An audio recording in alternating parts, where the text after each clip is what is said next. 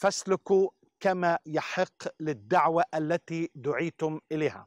فإذا أنت أخذت كل هالاختبارات والتعاليم القوية في حياتك لازم تترجم وتبرهن بأعمال آه، يعني اللي تثبت هذا التعليم. كما قال في أفسس 2 عشرة لأننا عمله مخلوقين في المسيح يسوع لأعمال صالحة قد سبق الله فأعدها لكي نسلك فيها. تعرفوا هون بيتكلم عن هذه الدعوة بحاول يشدد على فكرة الوحدة. فالوحدة هو عمل إلهي بحت والوحدة هو عندما يسكن المسيح فينا والروح القدس أيضا.